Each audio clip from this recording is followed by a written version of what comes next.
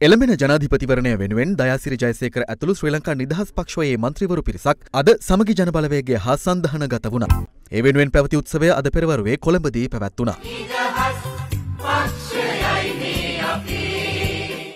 ජනතාවට විසඳුමක් දෙන්න බැරි පැලස්තර දේශපාලන ක්‍රමයක් දර්ශනයක් නැති ආර්ථික ගමනක් යන වෙලාවක අර්බුදකාරී තත්ත්වයක පක්ෂ සංවිධාන සියල්ල ඉන්න වෙලාව.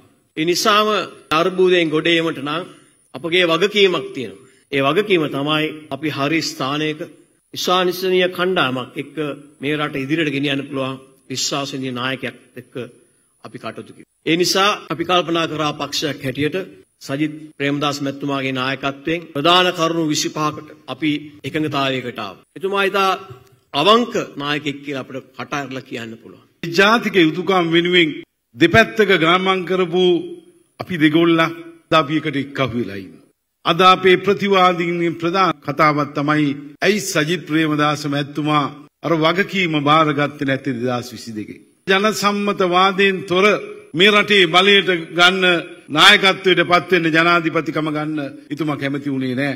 ඉතුමට ඕන වුණේ ජනතාවගේ කමැත්තෙන් මේ රටේ නායකත්වයට පත්වෙලා නාගතයේ ශක්තිමත් රටක් බී කරන වැඩපිළිවෙල ක්‍රියාත්මක කර. මුන්නාස්ලට සජිත් මහත්මයාව විශ්වාස කළා. අපිට එක්කහුවීම ගැන මාද ස්තුතිවන්ත වෙනවා. මෛත්‍රීපාල සිරිසේන මැතිතුමාට පස්සේ කිසිම නායකයෙක් බිහි නොවුණා වගේ ශ්‍රී ලංකා නිදහස් පක්ෂය අවුරුදු 9මාරකට පස්සේ නායකයෙක් නැති අනාගතයක් නැති පක්ෂයක් බවට එතුමා පත් කරා. ඒ ප්‍රතිඵලය අද ආණ්ඩුවට හේතු වෙලා ඉන්න යම් පිරිසක් ඒ වගේම ශ්‍රී ලංකා නිදහස් පක්ෂ මහලේකම්වරයා විදියට මමත් අපේ ආදරණීය නායකයනුත් එක්ක ඉන්න ඔබ මේ දෙක තමයි අවසාන ඉතුරු වුණේ. වෙලාවට නායකයන් හදන්න නැතුව අපේ හාමුදුරනේ. විහාරස්ථානයක වුණත් පොඩි හාමුදුරුවෝ දෙන්නෙක් හදලා ඔවුන්ට නායකත්ව දෙන්නේ නැති වුණොත් ඒ විහාරස්ථානේ විනාශ වෙනවා වගේ තමයි දේශපාලන පක්ෂවලටත් මේ ප්‍රශ්නය අද ඇතිලා තිබෙන්නේ. ශ්‍රී ලංකා නිදහස් පක්ෂය අද තියෙන උසාවි. එහි ලේකම්වරයා විදියට නීතිමය වශයෙන් බලය තිබෙන්නේ දයසිරි ජයසේකරන මට පමණයි.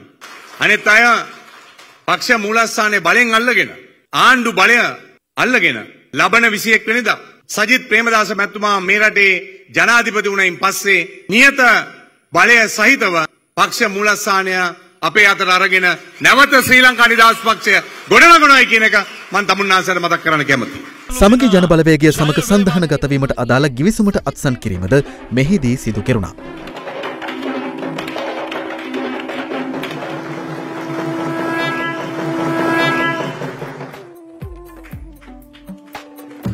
ශ්‍රී ලංකා නිදහස් පක්ෂයත් සමග ප්‍රතිපත්තිමය වශයෙන් දර්ශනය පැත්තේ රට ගොඩනගන වැඩපිළිවෙල පැත්තේ අපට එකතු වීම අර සුපුරුදු පරිදි ජාතන්ත්‍රවාදී ඉතිහාසය තුළ නිර්මාණය වුණු අවස්ථාවාදී දේශපාලන ගිවිසුම් නොව අප මාතෘභූමියත් මාතෘභූමියේ ජීවත් වන ලක්ෂ 220ක් මුළු රටම සුඛිත මුදිත කරවීමේ ජනතාවාදී දේශපාලන එකමුතුවක් හැටියට අපට මේ එකමුතුව හඳුන්වන්නට පුළුවන්. රාජ්‍ය පාලනය අධිසුකෝපභෝගී මහා යහනාවක් නොව රාජ්‍ය පාලනය දුෂ්කර ක්‍රියාවක්. ලක්ෂ 220 වෙනුවෙන් කරන කැපවීමක්. ලක්ෂ 220කගේ උන්නතිය සෞභාග්‍ය උදෙසා කරන මහා ජනතා සේවාවක් හැටියට අපි මේ ගමන ආරම්භ කරන්න කටයුතු කරනවා. අද දෙරන YouTube නාලිකාව YouTube අද දෙරන දැන්ම සබස්ක්‍රයිබ් කරන්න.